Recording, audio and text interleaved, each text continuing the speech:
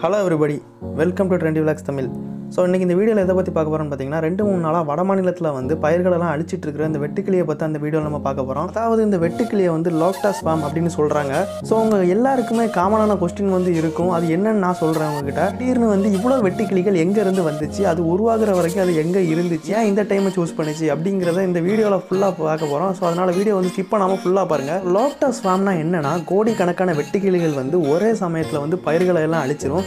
இப்படி வர வெட்டுக்கிளிகளுக்கு பேர் தான் லோக்டாஸ் ஃபார்ம் அப்படின்னு சொல்கிறாங்க இப்படி நடக்கிறது ஒன்றும் புதுசு இல்லை. இது வந்து ஆயிரம் வருஷத்துக்கு முன்னாடி இருந்து இந்த மாதிரி நடந்துக்கிட்டு தான் இருக்குது. இதே மாதிரி ஆப்பிரிக்காவில் வந்து அடிக்கடி நடந்துகிட்டு இருக்குது. இது வந்து எப்போ வரும்னே தெரியாது. அமெரிக்கா சீனா போன்ற நாடுகளில் வந்து இந்த மாதிரி லோக்கஸ் வந்து அடிக்கடி வந்திருக்குது. இந்தியாவை பொறுத்தவரை ஆயிரத்தி தொள்ளாயிரத்தி தொண்ணூறில் தான் ஒரு லோக்கஸ் ஃபார்ம் வந்து வந்திருக்குது. அதனால வந்து அதிக அளவில் பாதிப்பு இல்லை. ஸோ இப்போ வந்திருக்கிற லோக்கஸ் ஃபார்மில் தான் பாதிப்பு வரும் அப்படின்னு சொல்லிட்டு கணிக்கப்படுது. ஸோ இப்போ இந்தியாவை தாக்கிட்டு இருக்க லோக்கஸை வந்து டெசர்ட் லோக்கஸ் அப்படின்னு சொல்கிறாங்க இந்த லோக்கஸ் வகை இனம் வந்து பாலைவனத்தில் வந்து சின்ன சின்ன கேங்காக வந்து வாழ்ந்துகிட்டு இருக்கும். அந்த சின்ன கேங் வந்து என்னைக்கு ஒன்று சேருதோ அன்னைக்கு வந்து லோக்கஸ் வந்து மிக பயங்கரமான ஒரு பெரிய உருவெடுக்கும் இது எப்படி உருவாகுது அப்படின்னு பார்த்தீங்கன்னா இப்போ ஒரு இடத்துல வந்து மழை பெய்யுதுன்னு வச்சுக்கோங்க. ஸோ அந்த இடத்துல வந்து அந்த ஒரு மாதத்துக்கு அப்புறம் ஒரு வறட்சி ஒன்று வருது. ஸோ அந்த மாதிரி நடக்கிறனால அந்த லோக்கஸ் உருவாகிறதுக்கு ஒரு சாதகமாக அமையுது. ஸோ அந்த டெசர்ட் லோக்கஸை பொறுத்த வரைக்கும் சின்ன சின்ன கேங்காக வாழ்கிற வரைக்கும் யாருக்கும் எந்த தீங்குமே இழைக்காது. அதாவது ஒரு சூழ்நிலையில் வந்து ஒன்றா சேருது. இப்படி ஒன்றா சேரும்போது இனப்பெருக்கம் பண்ணி அதோட கூட்டத்தை வந்து இன்னும் பெருக்கிக்குது ரெண்டு மடங்காக அது மட்டும் இல்லாமல் காற்று எந்த பக்கம் அடிக்குதோ அந்த பக்கத்தை தனக்கு சாதகமாக மாற்றிக்கிட்டு அதால் எவ்வளோ தூரம்னாலும் பறக்க முடியும். இது வந்து ஆஃப்ரிக்காவில் எப்படி பரவுச்சுன்னு பார்த்தீங்கன்னா ஆஃப்ரிக்காவில் இதே மாதிரி ஒரு மழைக்காலம் வந்திருக்கு. அதுக்கப்புறம் பயங்கரமான வறட்சி ஒன்று வந்திருக்குது.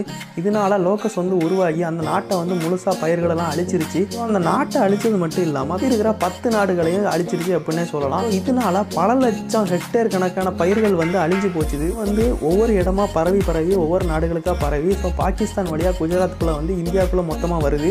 இது எந்த அளவுக்கு பாதிப்பை ஏற்படுத்து அப்படின்னு பார்த்தீங்கன்னா ஒரு சதுர கிலோமீட்டர் அளவு இருக்கிற வெட்டிக்கிளிகள் வந்து முப்பத்தைந்தாயிரம் மனிதர்கள் சாப்பிடக்கூடிய சாப்பாடு சாப்பாடு உணவுப் பொருட்கள் எல்லாத்தையுமே அழிச்சிருமா?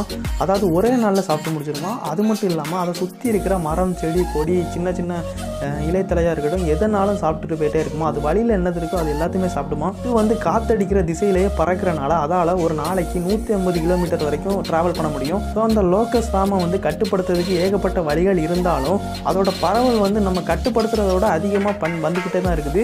ஸோ நம்ம என்ன தான் கட்டுப்படுத்தினாலும் அது திரும்ப திரும்ப வரதான் செய்யுது. அதனால இதை தடுக்கிறது வந்து ரொம்பவே கஷ்டம் தான் ஸோ இந்த வெட்டுக்கிளிகள் வந்து ஆறு ஸ்டேட்டில் வந்து பரவிருச்சு. ஸோ இப்படியே போயிட்டு இருந்துச்சுன்னா தலைநகர் டெல்லியையும் தாக்கிறதுக்கு வாய்ப்பு இருக்குது. அது மட்டும் இல்லாமல் இதை கண்ட்ரோல் பண்ணதுக்கு ஒரு வழி இருக்குது. ஆனால் அதில் பல சிக்கல்களும் இருக்குது. ஸோ அந்த வெட்டுக்கிளிகளை தடுக்கக்கூடிய மருந்துகள் வந்து பகலில் யூஸ் பண்ண முடியாது. ஏன்னா பகலில் வந்து வெட்டுக்கிளிகள் வந்து ட்ராவல் பண்ணிகிட்டே தான் இருக்கும். நைட்டு ஒரு இடத்துல இருக்கும்போது அப்போ வேணால் யூஸ் பண்ண முடியும். இது தமிழ்நாட்டுக்கு வருமா அப்படின்னு கேட்டிங்கன்னா தமிழ்நாட்டுக்கு வரதுக்கு சான்ஸ் இல்லை. ஸோ ஸோ அப்படியே இருந்தாலும் நம்ம எதுக்கும் அலர்ட்டாகவே இருப்போம். இந்தியாவில் பார்க்கும்போது லட்சக்கணக்கான ஏக்கர்கள் வந்து ரொம்பவே பாதிப்படையும். இதனால் விவசாயிகளுக்கு பெரிய நஷ்டம் ஏற்படும். இந்தியா வந்து இதை எப்படி சமாளிக்க போகுதுன்னு தெரியல.